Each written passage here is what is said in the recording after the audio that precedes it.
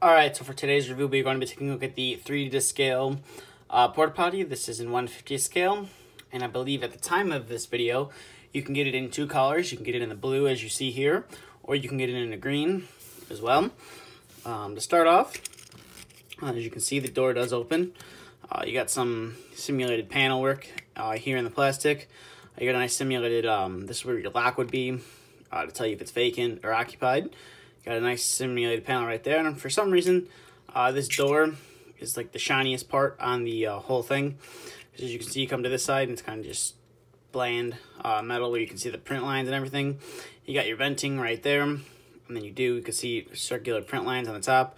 And then you do have a hole that is all the way through, or somewhat through, uh, for some more ventilation. Come to the rear, it's the same. And then on this side, as you can see, you do have some more vent work right there. Uh, the door, as you saw, um, does open uh, real nice. You can see right there. Uh, the print quality right there. It's not the greatest. It's not the greatest on this piece, but you can't complain for the price. Um, and then as you can see in there, uh, some details. You got your seat. Um, and this is where all the um, waste product would go. And then it is open uh, as well to add some realism. So if you had, you know, like a Vactor truck or um, truck that would clean out porta potties, you could, in theory, put a hose down there and suck out the stuff that's in there. Um, the door does close, which is nice. Uh, overall, uh, it's a nice little piece.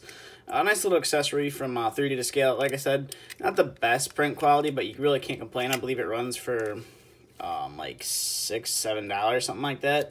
Uh, so if you're looking to add some detail to your diorama, uh, it does work fairly well.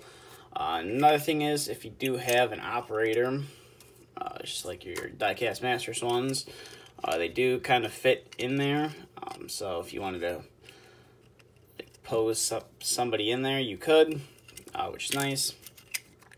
They sit. But overall, it's a nice little piece, nice quick review. Uh, probably uh, we'll be doing a few more 3D to scale reviews. I do have a, few more of their pieces uh, in 1 to 50 scale. I'm not sure if this comes in 164 scale or 187 scale, but I know it is 150 scale. Um, so that's just about it for this review. So if you have any questions, feel free to ask. Uh, if you'd like to see a review of anything that I have that has not been reviewed already, uh, feel free to leave a comment. And thank you for watching, and stay tuned for the next video to be uploaded.